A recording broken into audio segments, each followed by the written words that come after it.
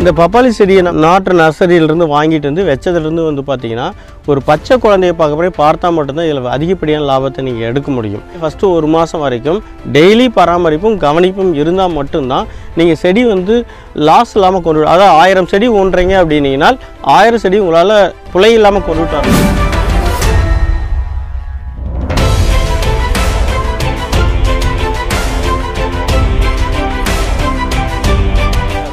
நமக்கு செடி க்ரோத் கம்மியாக இருக்கிறது தான் முக்கியம்.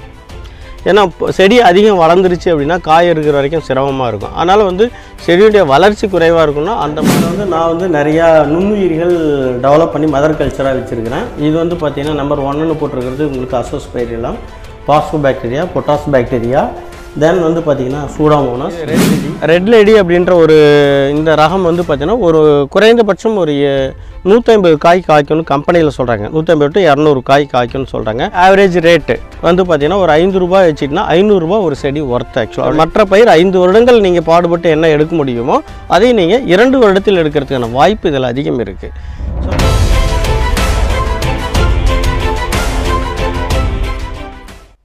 அண்ணா வணக்கம். வணக்கம் வணக்கம். இப்போ விவசாயத்தில் பார்த்தீங்கன்னா கரும்பு நெல் மக்காச்சோளம் பல்வேறு பயிர்கள் இருக்குது அதெல்லாம் இருக்கும் பொழுது நீங்கள் இந்த பப்பாளி வந்து பார்த்தீங்கன்னா பயிரிடுறீங்க. ஓகே அதுக்கு என்னென்ன காரணம்? அதை பற்றி சொல்லுங்கள் என்னுடைய பேர் வந்து பார்த்தீங்கன்னா சரவணன். சின்னசேலம் தாலுக்கு பக்கத்தில் வெட்டிப்பெருமாகன்ற ஒரு கிராமத்தில் நான் வசிக்கிறேன். எனக்கு ஒரு ரொம்ப நாளாக பார்த்தீங்கன்னா மரவள்ளி மக்காச்சோளம் இந்த மாதிரிலாம் பயிரெலாம் நான் பயிரிட்டுக்கிட்டு இருந்தேன். பட் அதில் இன்னும் பெருசாக ப்ராஃபிட் இருக்கிற மாதிரி நான் ஃபீல் ஆகலை. அதேமாதிரி பார்த்தீங்கன்னா அதுக்கான எக்ஸ்பென்ஸு பெரிய ஒரு ஏக்கருக்கு அதுக்கான உழைப்புக்கு தகுந்த ஒரு ப்ராஃபிட் இருக்கிற மாதிரி நான் ஃபீல் பண்ணலை. ஸோ அதனால் புதுசாக நம்ம இந்த வருஷம் பப்பாளி போடுவோமேன்ற ஒரு புது முயற்சியாக தான் அதை எடுத்திருக்கிறேன். பட் கால்குலேஷன் போட்டு பார்த்தா ப்ராஃபிட்டபுளாக இருந்த மாதிரி இருந்தது. ஸோ அதனால் நான் வந்து பப்பாளி போட்டேன்னு வச்சுக்கோங்களேன் ஆனால் இந்த பப்பாளி செடிக்கு வந்து பார்த்தீங்கன்னா எந்த மண்வாய் உகந்ததாக இருக்கும்?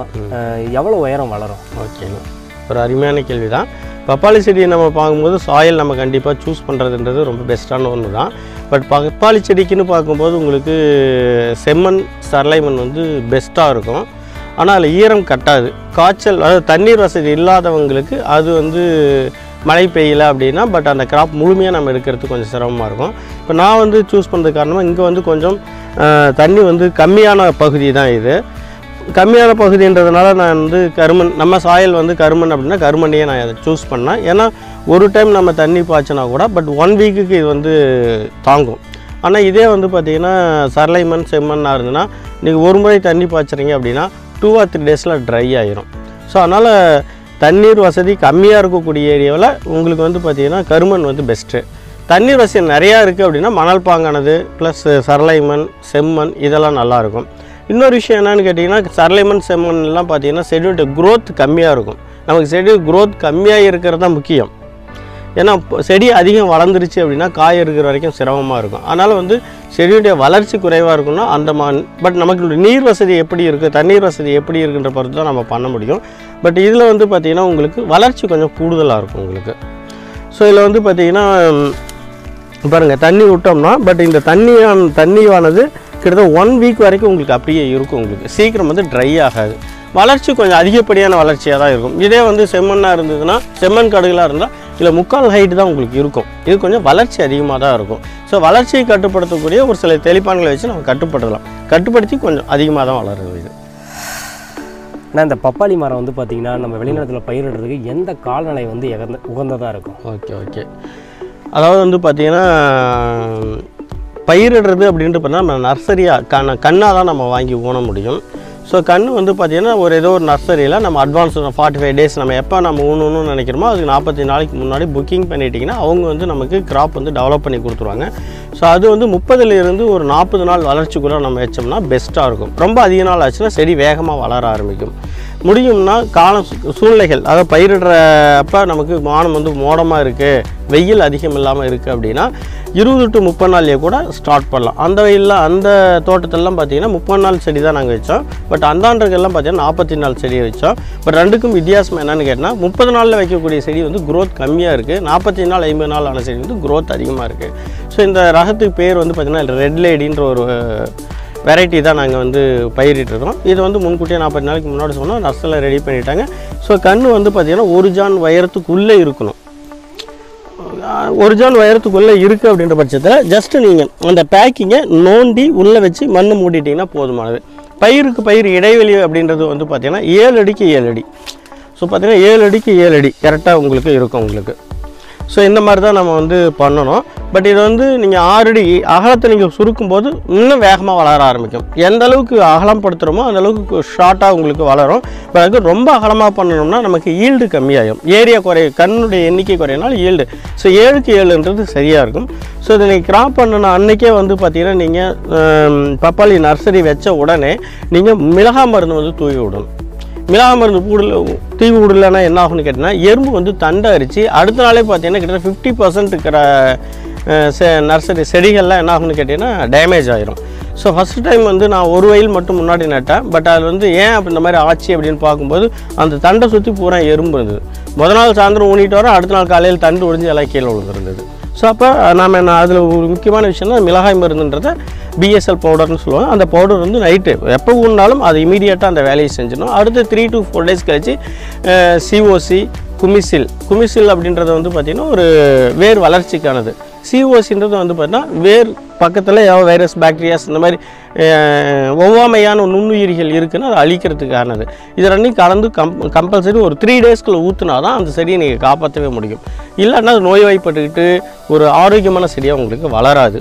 ஸோ அதுக்கடுத்து பார்த்தீங்கன்னா உங்களுக்கு அப்பப்போ வந்து மைக்ரோ ஃபுட்ஸ் நீங்கள் கொடுத்துக்கிட்டே இருக்கணும். நீங்கள் லேண்டில் கொடுத்தாலும் இலை தெளிப்பான் வழியை நம்ம கொடுத்தோம்னா மட்டும்தான். ஸோ அந்த பிளான்ட் வந்து சரியாக கொண்டோம் இப்போ பப்பாளியை பொறுத்த வரைக்கும் அதிகப்படியான சத்து என்ன தேவை அப்படின்னா ஜிங்க்கு ஃபெரஸு போரான் அப்படின்றது ரொம்ப அதிகமாக தேவை. காய் பிடிக்கிறப்ப வந்து பார்த்தீங்கன்னா கால்சியம் நைட்ரேட் நீங்கள் கொடுத்தீங்கன்னா காய் வந்து சைனிங் நல்லாயிருக்கும் ஸோ உங்களுக்கு கலர் நல்லா உங்களுக்கு கிடைக்கும். உங்களுக்கு ஆனால் இந்த பப்பாளி செடியில் நீங்கள் விளைநிலத்தில் ஊனியதுலேருந்து எந்த மாதிரியான நோய்கள்லாம் வருது? அதை நீங்கள் போய் கட்டுப்படுத்திக்குவீங்க ஓகே.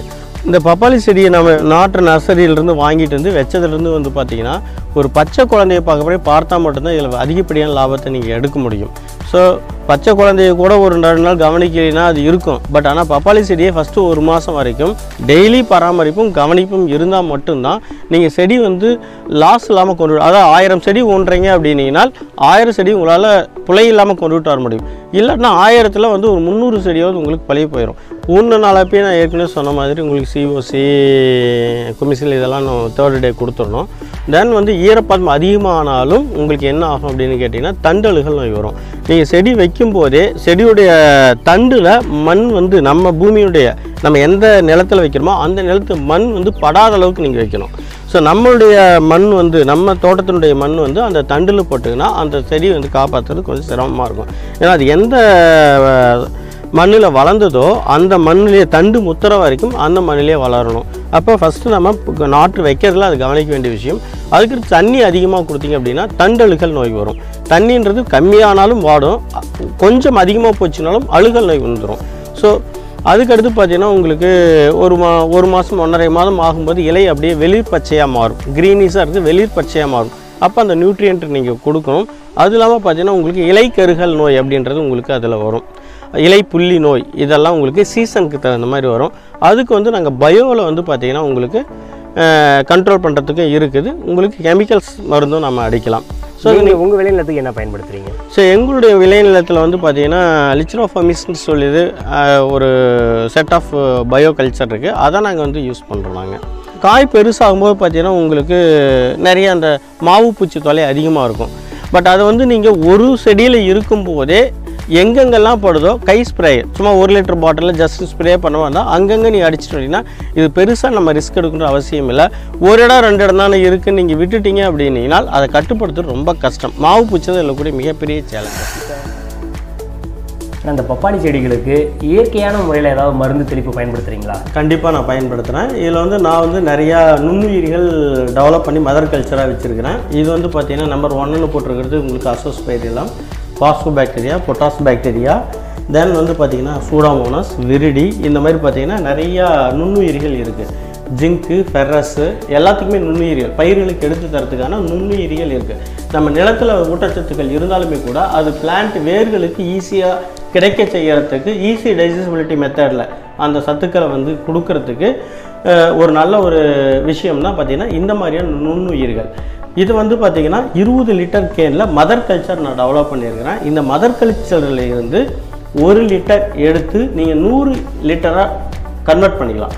அதுக்கப்புறம் அதை பதினஞ்சு நாளைக்கு ஒருக்கா ஒரு ஏக்கருக்கு நாற்பது லிட்டர் வீதம் நீங்கள் பதினஞ்சு நாளைக்கு விட்டோம்னா தரை வழியாக கொடுப்பீங்களா? இல்லை வந்து இலை வழியாக கொடுப்பீங்க தரை வழியாகவே நாங்கள் கொடுத்துருவோம். ட்ரிப் எரிகேஷன் மூலிமா கொடுத்துருவோம். ஸோ அப்படி கொடுக்கும்போது உங்களுக்கு உர செலவு அப்படின்றது ஒரு இருபது டு முப்பது பர்சன்ட் பண்ணினாலே போதுமானது. அந்த இது பயன்படுத்தும் பொழுது எந்த மாதிரியான நோய்கள்லாம் கட்டுப்படுத்தணும்? இது கண்டிப்பாக வேரல்கள் நோக்கி இருக்குது அதே மாதிரி பார்த்தீங்கன்னா உங்களுக்கு மண் பொலபொலப்பு அதிகமாகும். மண்ணுக்குள்ளே காற்றோட்ட வசதி அதிகமாகும். மண் புழு அதிகமாகும். அதுவும் இல்லாமல் நியூட்ரியண்ட்டை வேகமாக செடிகளுக்கு எடுத்துதலும் செடிக்கு நல்ல நோய் எதிர்ப்பு சக்தி இருக்கும். வைரஸ் பாக்டீரியாஸ் இந்த மாதிரி வைரஸ் நோய்கள் இல்லாமல் இது வரைக்கும் என்னுடைய செடியில் வந்து பார்த்தீங்கன்னா பப்பாளியில் வைரஸ் பிரச்சனை எப்படிம்பாங்க வைரஸ் பிரச்சனை இல்லாத அளவுக்கு நான் செடியை வந்து தா தாஸ்திகமாக எதிர்ப்பு சக்தியோட நான் கொண்டுட்டு வந்துருக்கேன் அதுக்கு காரணம் வந்து பார்த்திங்கன்னா இந்த பயோ மெத்தடு தான். அதுக்கு முழுக்க காரணமாக இருக்கிறது. பப்பாளி பழத்தை வந்து எப்படி நான் மார்க்கெட்டிங் பண்ணுறீங்க இருக்குது இப்போ பப்பாளிக்கு இது பார்த்தீங்கன்னா உங்களுக்கு மார்க்கெட்டிங் பர்சன்ஸ் இருக்கிறாங்க. ஸோ எனக்கு தெரிஞ்சு ஒரு ஏழு எட்டு வியாபாரிகள் இருக்காங்க. அதில் நம்ம யாரையோ ஒரு நபரை மட்டும் கரெக்டாக சூஸ் பண்ணிக்கணும். ஸோ ஃபினான்ஷியலாக நமக்கு தெரிஞ்ச நபராக இருக்கணும். அவங்க அவங்களுடைய அணுகுமுறை அவங்களுடைய பிஹேவியர் அவங்களுடைய அக்கௌண்டபிலிட்டி அதாவது எப்படி பணம் கொடுக்குறாங்க வாங்குற முன்கூட்டியே நம்ம தீர்மானித்து பட் அவங்ககிட்ட நம்ம கொடுக்கும்போது பட் அவங்க நமக்கு மார்க்கெட்டிங் பண்ணி இல்லை மார்க்கெட்டிங் அப்படின்றது ஒரு பெரிய விஷயம் இல்லை பட் அவங்களே நமக்கு எடுத்துகிட்டு போயிடுறாங்க. ஸோ அவங்களே வந்து பப்பாளி எந்தெந்த பழம் அவங்களுக்கு தேவைப்படுதோ அதெல்லாம் அவங்க வாங்கிட்டு போய் கோயம்புத்தூர் கோயம்பேடு சென்னை இந்த மாதிரி நியர்பை ஸ்டேட்லாம் பார்த்திங்கன்னா அவங்களே டிஸ்போஸ் பண்ணி நமக்கு பணத்தை கொடுத்துட்றாங்க.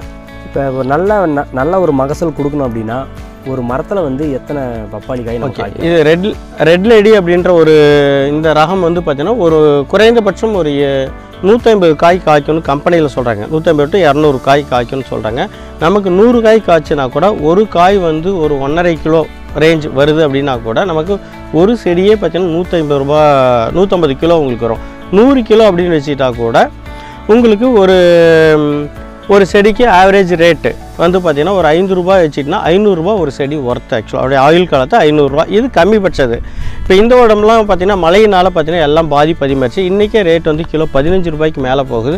நம்மளது இன்னும் அறுக்க ஆரம்பிக்கல. அறுக்க ஆரம்பிக்கும் போது மேபி இருபது ரூபா வந்துடும் எதிர்பார்க்குறோம். அப்போ ஐந்து ரூபாய் கிலோவுக்கு போடும்போதே ஒரு மரம் ஐநூறு ரூபாய் அப்படின்ற பட்சத்தில் இதே இருபது ரூபாய் அப்படின்றப்ப நீங்கள் யோசிச்சு பாருங்களேன். அதிகப்படியான லாபம். நமக்கு கிடைக்கும். அப்போ இரண்டாயிரம் ரூபாய்க்கு நமக்கு ஆவரேஜ் எல்லா நேரமும் நமக்கு அது கிடைச்சிடாது பட் ஆவரேஜ் ரேட்டுன்ற இந்த வருஷம் பத்து ரூபாய் இருக்கும் உங்களுக்கு. அப்போ ஒரு மரம் ஆயிரம் ரூபாய்க்கு இந்த வருஷம் நமக்கு ஆகும். இப்போ நம்மக்கிட்ட வந்து பார்த்தீங்கன்னா மூவாயிரம் செடி இருக்குது. ஒரு விவசாயி வந்து பார்த்தீங்கன்னா தன்னுடைய விளைநிலத்தில் புதியதாக இந்த பப்பாளி செடியை வந்து பயிரிடணும் அப்படின்னா அவங்களுக்கு நீங்கள் எந்த மாதிரியான அறிவுரைகள் தர விரும்புகிறீங்க ஓகே ஒரு அருமையான கொஷின் இதில் வந்து பார்த்தீங்கன்னா புதுசாக பப்பாளி போடணும்னு ஆசை உள்ளவர்கள் நல்ல விளைநிலத்தை ஃபஸ்ட்டு தேர்ந்தெடுக்கணும். அதை முன்கூட்டியே பக்குவப்படுத்தணும். ரெண்டா ஃபஸ்ட் விஷயம். தென் வந்து பார்த்திங்கன்னா நல்ல விதைகள் உள்ள பேக்கிங்கை வந்து இந்த சரியான ஒரு நர்சரியில் கொடுத்து நம்ம அதை எடுக்கணும். கலப்பில்லாத செடியாக கொண்டுட்டு வரணும். குழந்தைய மாதிரி பராமரிக்கக்கூடிய மனப்பக்குவம் இருக்கக்கூடிய விவசாயிகளுக்கு மிகச்சிறந்த பயிர் இது.